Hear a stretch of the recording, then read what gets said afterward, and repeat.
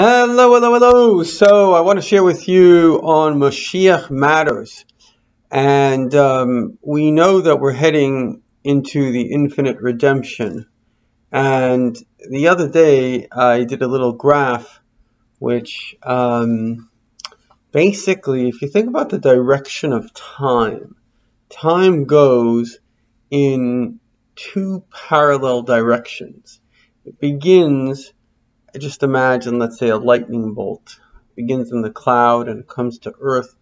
But in actual fact, as someone once told me, what happens with a lightning bolt is that there's some kind of energy that goes from the ground and then from the heaven and they hit in the middle. And that's exactly the moment of the lightning bolt. And so the point of the matter is, is that the direction of time is a dual direction.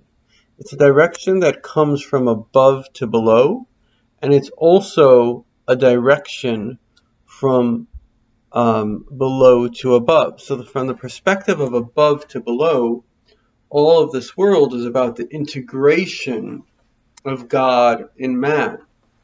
And then from the perspective of man below to above, it begins with kind of chaos, and then it begins with seeking truth, and eventually it ends up where exactly where God wanted it to be, that we develop a personal relationship with God and then we get married and we live happily ever after.